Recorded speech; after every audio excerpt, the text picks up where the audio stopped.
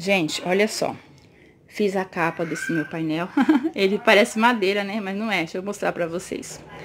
É... Eu ia pintar ele, decidi não pintar. E eu vou dizer o porquê, tá? E eu fiquei quebrando minha cabeça durante muito tempo pra poder fazer uma capa pra ele, de base, pra mim sempre colocar tecido, alfinetar e fazer alguma coisa nele, tá? Então, eu cheguei no protótipo aqui que eu queria e deixa eu mostrar pra vocês mais ou menos a ideia, tá? Olha, gente, aqui eu comprei é, velcro, tá? Porque aí eu vou fixar na minha... no meu painel e também no tecido. Aí você sabe que ele gruda bem, né? Uma aderência legal. Vamos ver. Bom, gente, olha o que que eu fiz. Peguei o tecido, tá? É o elanquim. Puxei ele e amarrei com fitilho as pontas, tá? O, sendo que o elanquim, vocês sabem, né? Que ele é... Ele estica bem.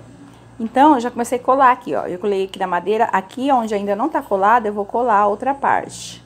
Ó, tá vendo? Esse aqui eu já colei, ó, pra você entender. Quer ver, ó? Ó, eu colei na madeira. E esse daqui.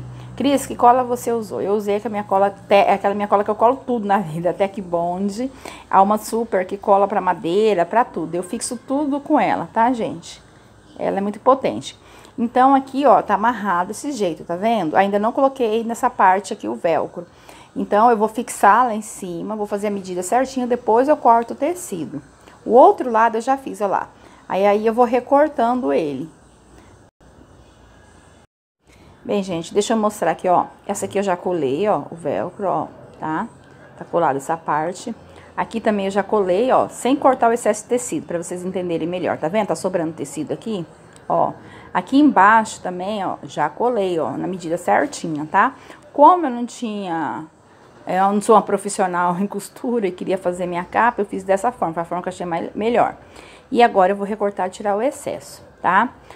O que me faltou aqui é só uma tesoura boa, porque minha tesoura some como um passo de mágica da minha loja, por causa do meu filho que faz pipa, né? Nessa fase que tá, tá terrível. Mas é só tirar o excesso. Bem, gente, deixa eu mostrar como ficou.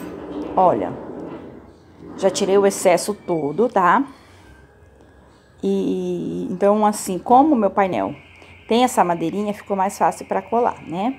Aí, ai, gente, aqui, ó, eu tô tentando, filmando e tentando tirar, o feltro, ele é tão forte que eu não consigo arrancar com a mão só. Deixa eu pegar um outro aqui embaixo pra vocês verem. Ó, tá vendo? Eu numerei, tá? Então, pra facilitar a vida da pessoa, eu coloquei numerado, ó, aqui tá o 6, tá vendo? É só puxar aqui Aí do outro ladinho tem o número 6 também. Aí você puxa aqui, ó, e coloca. Então, ela não vai errar. Então, tem o 6 lá em cima, 5, aqui embaixo vai indo, ó. Ó, número 5. 7. Então, tá todo numerado. Foi a forma mais fácil que eu encontrei, tá? A frente ele ficou assim.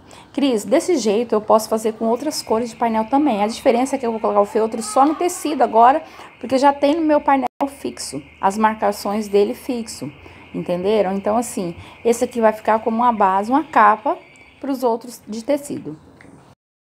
Oi, gente, referente ao painel, deixa eu falar. Eu optei por essa capa, ó, parece madeira, mas é uma capinha, tá? É elanquim. É, eu, por muito tempo eu pensei, fiquei relutando o que, que eu iria fazer. Então, decidi fazer essa capa. É, eu ia pintar como eu já tinha até falado no vídeo anterior, meu painel todo de branco. E deixar pintado e fazer depois as capas, né? Mas eu pensei, melhor decidir não pintar de branco. E por que, Cris, que você não pintou? Porque ele, eu trabalho exclusivamente com pega e monte, como vocês sabem, e as pessoas transportam, eu não levo, elas retiram e levam. Então eu fiquei pensando, vou ficar pegando uma, aí levando, outra levando para montar, e eu não sei aonde que vão montar. E eu acredito que com duas, três locações acabaria ficar sujando muito meu painel branco. E aí as pessoas entenderiam que eu tava sujo, velho. Então, para mim já evitar a fadiga, falar a verdade para vocês, para me evitar a confusão, que eu tô correndo disso ultimamente, eu decidi fazer essa capinha, tá? Então, não vou pintar de branco. Essa capa que eu desenvolvi, ela vai ficar como base para para outras, entendeu?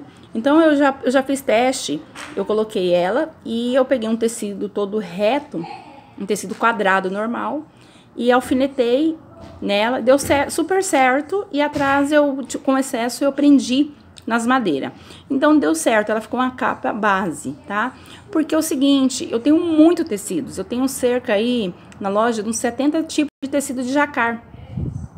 E eu não queria ter que cortar os tecidos ou investir mais comprando para fazer no momento. Então, eu fiz essa capa base justamente por isso, para me reaproveitar o meu material que eu tenho, sem ter que investir e gastar. Porque meus tecidos, a maioria é 2,5 por 2, 3 por 2, tá?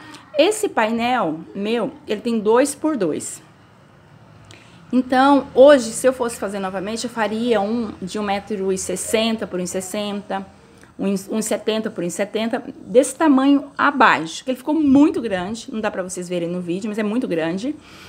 É, o elanquim, para você ter noção, ele é 1,80m de largura e você compra por metro, né? Então, assim, a, a largura dele sempre é 1,80. A minha sorte é que ele dá elasticidade, então ele estica. No ele esticar, eu consegui colocar e fazer dessa forma no painel, é, no meu painel de 2x2, tá? Mas ele ficou bem grandão mesmo esse painel. É aqui que eu tô na câmera, eu acho que esconde um pouquinho, tá? Deixa eu mostrar pra vocês aqui, ó é, a madeira, porque ele é muito parecido com a cor, né? Lá, a madeira lá atrás, ó. Pra você entender melhor. Aqui é a cor da madeira, ó. Ó, a madeira tá lá, tá? E aí, então, é só puxar, esticar, que ele vai dar certinho nessa ideia. Com base dessa capa, tá? Você pode fazer várias capas. Então, você pode fazer também outras cores no elanquim. Eu estava pesquisando e eu vi vários lugares que é realmente elanquim que se usa, tá? O pessoal estica, coloca, prende atrás. No meu painel, como eu já disse inicialmente, eu posso também é, usar grampo. Esse painel, como tem muitas madeiras atrás, como vocês viram na montagem dele, dá para prender esse elanquim na madeira, de repente, se você, ai, Cris, eu não quero fazer isso de feltro, velcro, como você fez, tal. Dá para fazer, tá? É, eu, eu tenho os tecidos de sublimação, fiz altos testes, hoje eu gravei também para vocês, ó. Eu amarrei na ponta um fitilho, amarrei na outra ponta e ele sendo quadrado, deu super certo no meu painel. Envolvi ele, amarrei em X atrás, deu super certo. Então, assim, eu vou conseguir reaproveitar todo os meus painéis que eu tenho. Lógico que eu vou investir no painel redondo, vou comprar. Eu tô pesquisando lugar que vende, mas é, eu tô aproveitando por enquanto o material que eu tenho, tá bom, gente? É isso.